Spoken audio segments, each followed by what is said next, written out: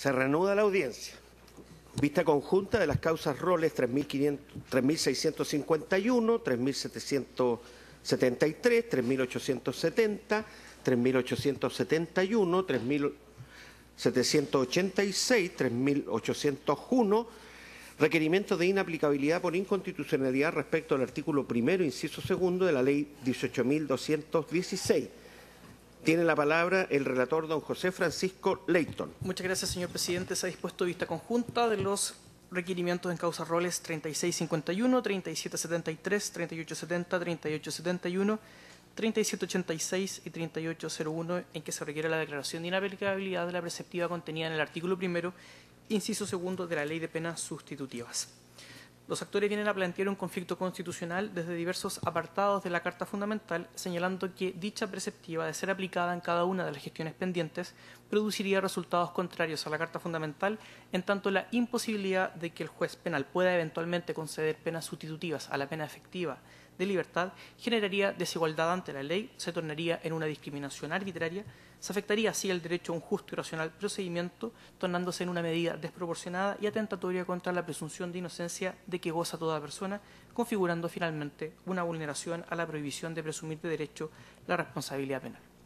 Conferidos los traslados de fondo en todas estas causas, se hizo parte en todas ellas el Ministerio Público, instando por un pronunciamiento conforme a derecho en todas estas y el rechazo en lo que respecta a la causa ROL 3651 en razón de que el precepto ya habría sido aplicado. Las características principales de cada una de las gestiones pendientes son las que se reseñan a continuación.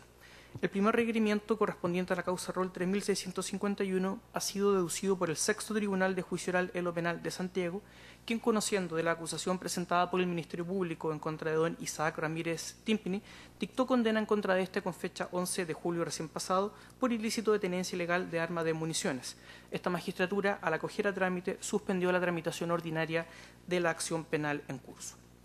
En segundo término, la causa ROL 3773, sustanciada ante el Tribunal de Juicio Oral en lo Penal de Villarrica y posteriormente ante la Corte de Apelaciones de Temuco, conoció de un juicio oral en donde se dictó sentencia condenatoria respecto de René Novoa Alfaro, quien fuera condenado por ilícitos de tenencia ilegal de arma de fuego hechiza o artesanal y tenencia ilegal de municiones. Su defensa planteó recurso de nulidad con apelación en subsidio para ante la Corte de Apelaciones de Temuco, tribunal en donde se sustancia actualmente dicha gestión pendiente. En tercer lugar, la causa ROL 3870 es deducida por don Héctor Ponce Cayún, sustanciándose actualmente ante el Tribunal de Juicio Oral el Penal de Temuco. Dicha judicatura oral dictó sentencia condenatoria respecto del actor por ilícito de tenencia ilegal de arma de fuego y de municiones, encontrándose suspendida la audiencia de determinación de penas. La cuarta causa, ROL 3871, es un requerimiento deducido por don Kevin Martínez Caro, sustanciándose la gestión pendiente ante el Tribunal de Juicio Oral en lo Penal de Los Andes, judicatura que dictó sentencia en su contra por ilícito de porte ilegal de arma de fuego prohibida, encontrándose también suspendida la audiencia de determinación de penas. Luego, la causa ROL 3786 ha sido planteada por don Alberto Plaza Rubina. Se sustancia actualmente ante el Tribunal de Juicio Oral en lo Penal de Copiapó, Dicha judicatura dictó veredicto condenatorio en su contra el pasado 24 de agosto por ilícito de posesión y tenencia de arma de fabricación artesanal, encontrándose también suspendida la audiencia de determinación de penas por decisión de esta magistratura al acoger a trámite la acción de autos. Y finalmente, la causa ROL 3801 ha sido presentada por don Denis Fernández Salazar. Se sustancia actualmente ante el Tribunal de Juicio Oral lo Penal de Angol en razón de la sentencia condenatoria que fuera dictada en su contra por porte ilegal de arma de fuego modificada. Su defensa a dicho fallo condenatorio planteó un recurso de nulidad con apelación subsidiaria para ante la Corte de Apelaciones de Temuco, el que se encuentra pendiente en su vista y fallo. Concluye señalando, señor presidente, que tras leído los autos en relación, se han anotado en forma para alegar en esta vista conjunta las partes de la Defensoría Penal Pública, del Ministerio Público y la parte requirente en una de estas causas. Muy bien. En consecuencia, por, los requirentes en las causas roles 3.773, 3.870, 3.871 y por el acusado en la causa rol 3.651, tiene la palabra doña Francisca Heresia. Adelante, por favor. Muchas gracias, señor presidente. Con la venia a este excelentísimo tribunal, esta parte solicita se declare inaplicable en cada uno de los procesos que se lleva adelante en contra de mis representados la norma del artículo primero, inciso segundo de la ley 18.216, por cuanto a nuestro juicio vulneran garantías fundamentales conforme se ha señalado en la relación. Dentro de ella, la más importante a nuestro juicio es la garantía del debido proceso en su dimensión de un racional y justo procedimiento. Esto es que el juez que conoce el fondo del asunto tenga la posibilidad de determinar la pena proporcional a la conducta desplegada por el autor de los hechos en el evento de ser declarado culpable. Al impedírsele al juez adjudicador determinar si puede o no conceder una pena sustitutiva de conformidad a la ley 18.216, entendemos que eh, se limita la posibilidad de un racional y justo procedimiento por cuanto mis representados cumplen con las condiciones objetivas para acceder a penas sustitutivas y por disposición del legislador se ve impedido entonces el tribunal de determinar las circunstancias particulares de cada uno de mis representados en lo que dice relación con la pena sustitutiva. Entendemos, por tanto, que desde el punto de vista de los principios de proporcionalidad, necesidad e idoneidad de las penas, eh, se vulnera eh, precisamente la capacidad del juez de determinar la pena justa conforme al fin preventivo especial positivo que rige la ley 18.216. En cada uno de los casos, eh, los primeros cuatro casos de la tabla conjunta, representamos a personas que tienen todas las características y circunstancias para poder hacer las alegaciones en cuanto a que se le concedan penas sustitutivas.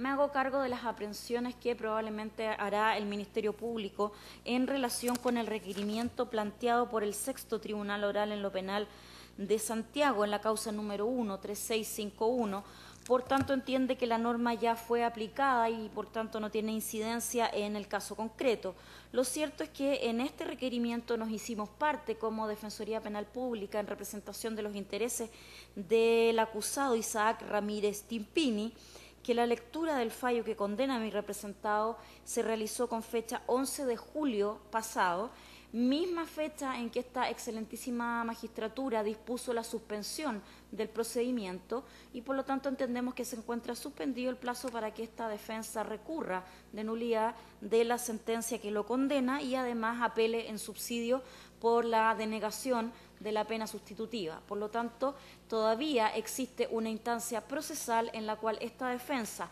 haciéndose parte en este requerimiento de inaplicabilidad, solicitando se declare inaplicable el artículo primero, inciso segundo de la ley ya citada,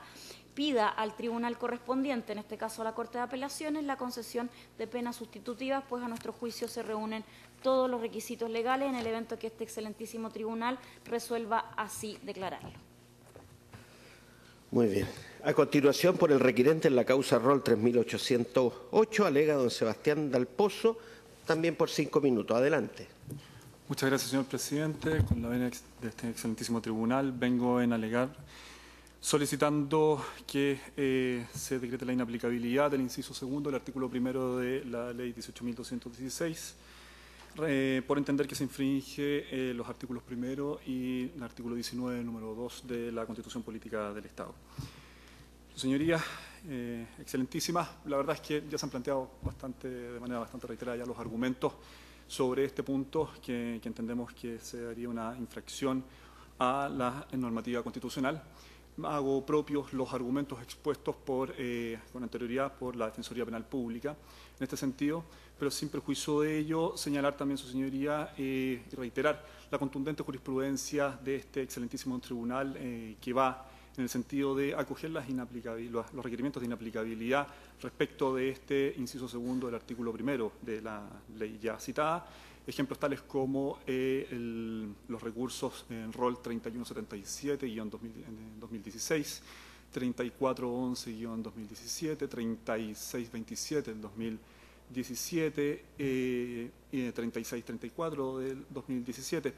Todos ellos, los cuales, su señoría, y en especial uno de ellos, el 3627-2017, eh, hacen referencia a principalmente dos principios que, en definitiva, son los que determinan la inconstitucionalidad de esta norma eh, referida básicamente al inciso segundo del artículo primero de la ley 18.216 y que tiene que ver con el principio de la humanidad en relación a la posibilidad de que las penas eh, sean proporcionales para efectos de provocar y permitir la reinserción social de los condenados. Y en casos como estos, como el de Marras, eh, una pena que en el caso concreto de mi representado es de tres años y un día, al no poder concederse el beneficio de libertad vigilada en este caso, entonces le impide la posibilidad de reinserción social. Eso como primera cuestión. Y segundo, el principio de proporcionalidad, su señoría, en relación a esta pena, atendido que los casos que establece el inciso segundo del artículo primero de la ley 18.216 de exclusión de beneficios, eh, mayormente se refiere a casos donde la pena es mucho más alta que en el caso concreto de mi representado, donde se refiere a una pena eh, inferior, que parte en los tres años y un día, a lo cual en el caso concreto de mi representado fue condenado en definitiva. Entonces, en ese sentido, entendemos que hay una eh, afectación eh, al estándar de racionalidad y justicia en la aplicación de esta pena respecto de la concesión de beneficios. Señoría, para finalizar, hacer presente que eh, en relación a mi representado, si bien se ha dictado sentencia por el Tribunal Oral en lo Penal de Angol, en donde se lo condena a mi representado a la pena de tres años y un día, por el delito de porte ilegal de arma de fuego modificada, previsto en el artículo eh,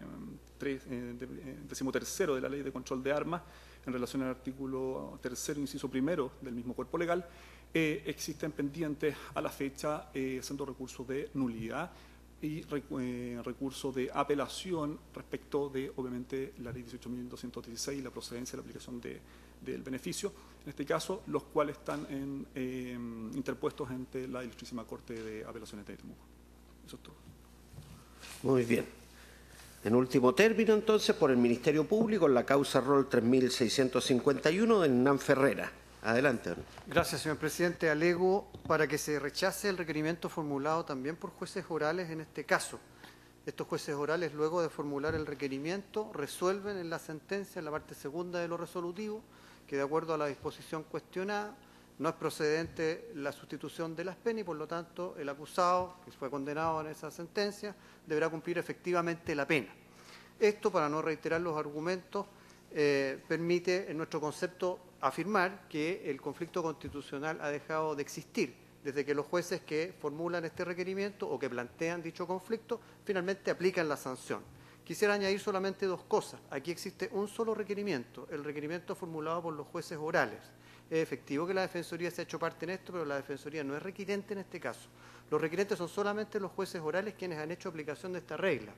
Y en definitiva, efectivamente pueden existir otras instancias de revisión, pero todas ellas, de acuerdo a lo que hemos hecho ver en nuestra presentación, depende, en su caso, de la formulación de recursos, es decir, de las partes intervinientes y no de estos jueces, y eventualmente de otros jueces que eventualmente deban resolver dicho eh, recurso si es que estos fueran planteados, que no son naturalmente los jueces que conocen del asunto, que en este caso, como digo, cuando formularon tal requerimiento, finalmente terminaron haciendo aplicación del precepto legal cuestionado, motivos todos por los cuales en concepto de esta parte procede desestimar igualmente el cuestionamiento de constitucionalidad eh, que corresponde al número uno de las causas que conjuntamente se ven en esta audiencia. Muchas gracias, señor. Gracias a ustedes. Señoras ministras, señores ministros, ¿preguntas que hacer?